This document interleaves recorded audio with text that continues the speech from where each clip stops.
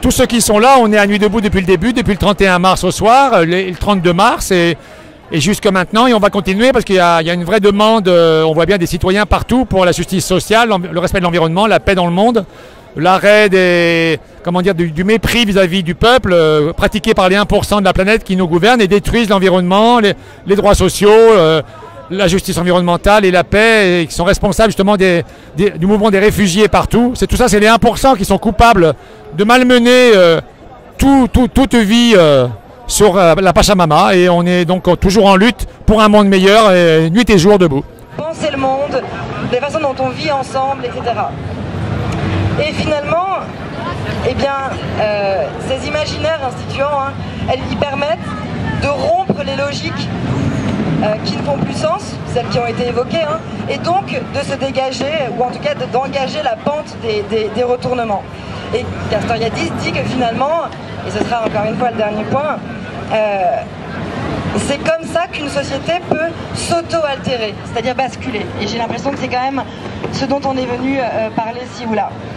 Et donc finalement, quiconque souhaite entrer dans, un projet d'autonomie, notre copain de Notre-Dame-des-Landes a parlé d'autonomie, hein, quiconque souhaite rentrer dans un projet d'autonomie, qui soit euh, collectif, individuel, politique ou social, pragmatique et ciblé, c'est-à-dire qu'aujourd'hui, on est presque au 52e jeudi euh, en continu pour Ali et pour euh, ses amis, parce qu'ils sont encore quatre à avoir été arrêtés étant mineurs en Arabie Saoudite. ils ont été condamnés à mort après avoir été torturés, condamnés à mort pour terrorisme et il ne faut pas oublier qu'en France, on a un député, M. Olivier Dassault, qui a proposé de rétablir la peine de mort, comme le permet l'article 62 du traité de Lisbonne, qui a été refusé par les Français le 25 mai 2005, sous forme de projet de traité de constitution pour l'Union européenne. Sûr, parce qu'ils sont en train de, réfléchir à l'Assemblée s'ils veulent projeter le film sur l'écologie qui était prévu, ou alors euh, faire quelque chose avec les Gabonais qui sont là. Euh, il y a ici les, euh, les antispécistes aussi à côté qui sont là comme d'habitude. La cantine qui tente de monter quelque chose mais qui ont un peu qui ont, eu des, petits problèmes. Euh, aussi, éducation populaire, politique.